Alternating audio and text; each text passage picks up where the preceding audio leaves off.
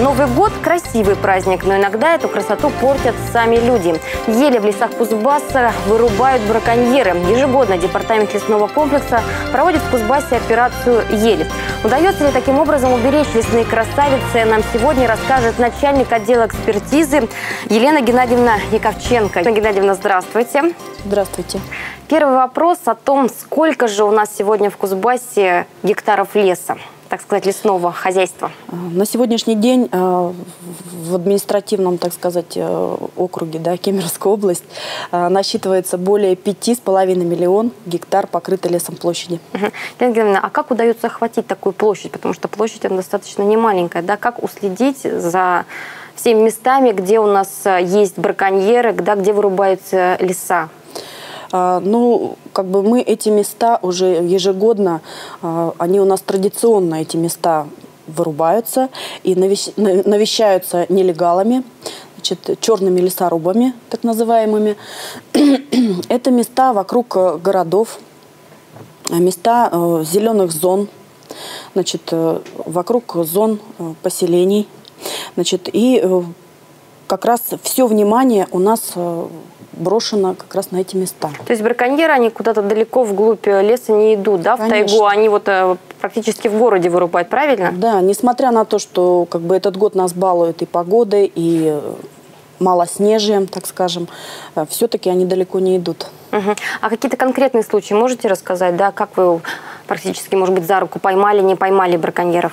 Да, вот Яшкинский, Беловский, Кемеровские районы отличились тем, что э, были найдены нелегальные склады э, незаконно срубленные новогодние ели, елька конфискована, изъята, и вот э, не удалось, к сожалению, обнаружить незаконных браконьеров. А нельзя ли там поставить какую-то охрану, я не знаю, как-то защитить, сделать так, чтобы все-таки там не вырубались вот эти вот места? Возможно что-то как-то предвидеть это? Э, естественно, то есть э, выставляются патрули. Э, тут операция сравнима только, наверное, с пожароопасным периодом вот, в нашей работе, когда активизируются просто все силы территориальных отделов и департамента лесного комплекса. И сколько людей удалось задержать да, таким образом? И не дать вырубить, спасти все-таки лес? Ну, выявлено... Есть ощутимые результаты? Да, по сравнению с 2010 годом ощутимые результаты. Практически все показатели по выявляемости, раскрываемости а, выросли порядка 20%, на 20%. Выявлено лесонарушений вот в 2011 году 17.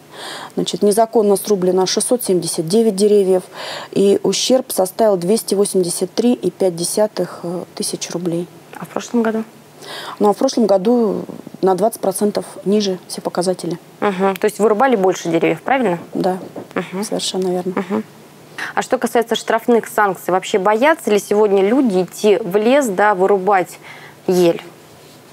Но ну, э, лес это дело настолько тонкое, что вот э, только поймав за руку, так скажем, да, человека в лесу, можно доказать, что это он срубил данное дерево. На сегодняшний день э, пойманный в лесу гражданин за незаконную срубленную елку заплатит штраф. Но помимо этого он еще возместит ущерб. В среднем где-то штраф будет составлять 700 э, рублей.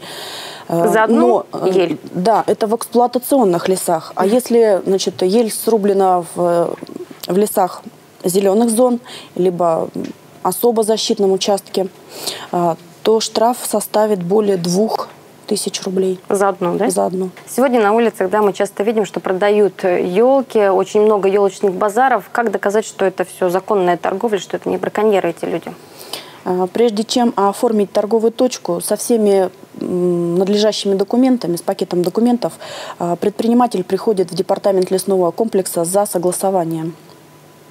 Поэтому каждая точка э, у нас на счету, так скажем. Допустим, если я вырубаю елку, я могу пойти на рынок и продать ее? Если вы являетесь предпринимателем, э, на законных основаниях ведете заготовку новогодней ели, то, конечно, да. На сегодняшний день таких торговых точек э, в Кемеровской области 192. Угу. А кто-то проверяет, что кто-то законно, незаконно идет торговля этими елками? Естественно, то есть э, вот э, в, э, в рамках таких операций, как вот операция «Ель», 2011 в рамках межведомственного взаимодействия с органами ГУВД совместно мы как раз выезжаем на такие рейды. А были ли случаи, что продавали елки, а продавали незаконно их? Таких случаев на сегодняшний день не выявлено. То есть вся торговля, которая осуществляется сегодня на территории области, она законно да, ведется, правильно? Правильно. А вот если сравнивать, да, может быть, с другими странами, где также такие же леса красивые, масштабные, да, а, как у нас в Кузбассе, насколько масштабно у нас вырубается ель к новогодним праздникам? Ну, для сравнения можно взять, вот э, мы находимся практически на одной географической широте вот с Финляндией, А, значит, и ежегодно у них к Новому году вырубается порядка миллиона штук новогодних елей. А вот, э, ну, если сравнивать нашу небольшую область, как раз, может быть, по масштабам, да? А у нас У сколько? нас э, 30 тысяч новогодних елей К, нов- к Новому году, да? к Новому году. Э, Я думаю, что люди становятся год от года более сознательными, то есть более бережно относятся к природе и, эм, так скажем, не удовлетворяют свои вот эти вот однодневные так потребности за счет красоты природы. А что касается вообще у нас, э, заинтересованы ли люди, заинтересован ли бизнес сегодня в продаже, да, елок? Какие-то, может быть, у нас э, продаются участки специально под посадку этих деревьев, да? Насколько люди заинтересованы в том, чтобы выращивать, а потом продавать? Ну вот э, как показатель это как раз вот снижение активности покупателей на наших открыт- открытых аукционах. То есть не все единицы, не все лоты были проданы. И на сегодняшний день а, вот обычный обыватель, да, он делает выбор все-таки в сторону искусственной ели.